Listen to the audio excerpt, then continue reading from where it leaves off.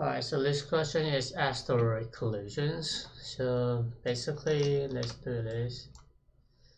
Um, you are given an integer array. So each asteroid representing you know positive and negative and negative value. Positive represent going in the pos positive direction, going right. Negative represent going left.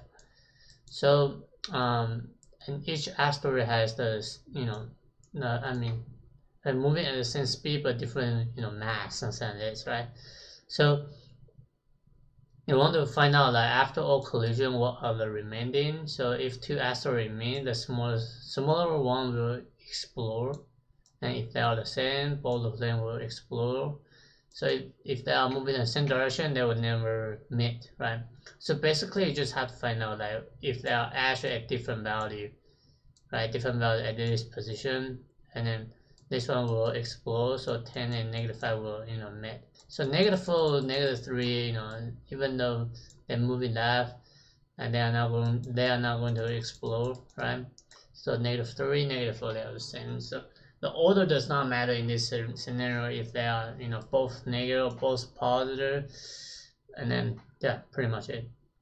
So we just need like a different value i mean different um we are comparing a different um, sign for the uh, asteroid. So, okay, so so let's look at it. So, if we have a puzzle, I I have stack. So my stack is going to is going to store the value for the positive.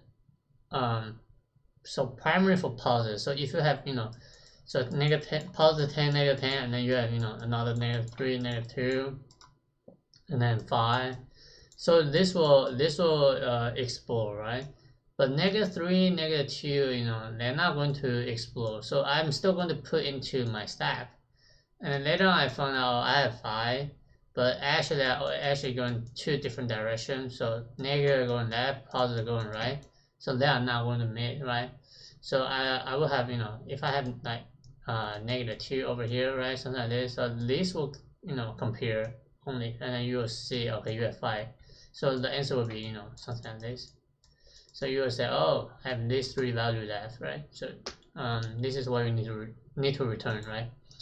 So uh, I mean, I can start putting in and just just follow along. All right. So I have stack. This is going to going to store integer, and then my my function stack, and then I traverse the loop, uh, traverse the array. Sorry, you are using a loop. So if the asteroid is positive, right, positive, then I just push the value in there. If not, then this is going to be negative and it's either collide or what? Um, or you pop, I mean, I mean you pop, right? So, so while the stack is not empty, so which means there's something in the stack and also the stack.p is positive value. So just in case uh, you can have negative value in the stack and you want to make sure the, the, the one you compare uh, the peek and this guy are the different you know different sign. So we already know this guy's this guy at this current current timing this is negative and then we have positive right? So we want to compare. Does match the absolute uh, this value is greater than my stacked up peek if this is happening, you know, this the, the smallest one will cancel out, right? So once you cancel out, I mean, uh, you're still going to verify, you know, if if the stack is empty, you want to push into, you know, the asteroid push into the stack, and also if the stack the peek was less than zero, you know. So imagine that. Um, so here's it. So you have 10, you have negative 10, and then these two collide, right? So somehow you have negative 3, negative 4, right? So this is, you know, the stack is already empty, right? So I'm at negative 3, so since stack is empty, so I push my value into the stack. And then negative 4 comes in, so you are not going to, in this case, right? Because peek has to be greater than 0, right? So my uh, I'm, my knowledge for the stack is what? Uh, my peek is it's currently less than zero, right? So, so I just push into stack, no matter what. Alright, another case you want to pop is what if they are at the same So stack up here is actually equal to the next absolute uh, asteroid, right? If they are actually at the same, you know, the same mass, so you want to say stack apart. So this will be pretty much everything. However, you want to traverse the the stack, right? So stack is first in, last out, but you, but let's look at this. So, um, so imagine negative three, negative two, and then five in a stack. So five we know is the last, the last uh, asteroid in the in the array, right? But when you want to return, you want to return this, right? And you can just use in the folder to traverse a stack. So it's gonna be int. I need to give it a size. Return the length of the stack uh, stack size. Just you know using the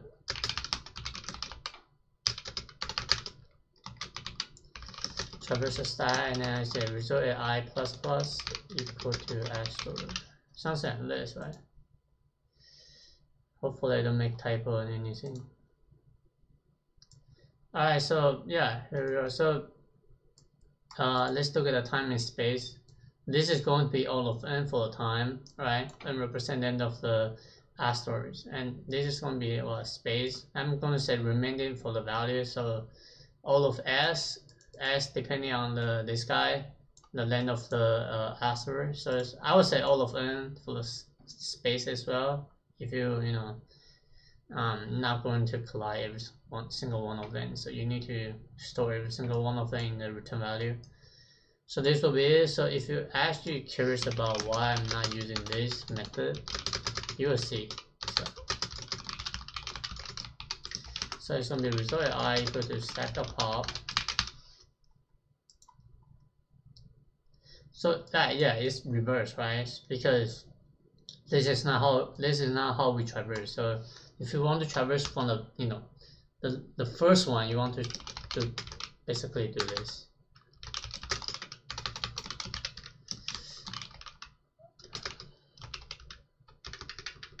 And then don't forget you need to initialize the index.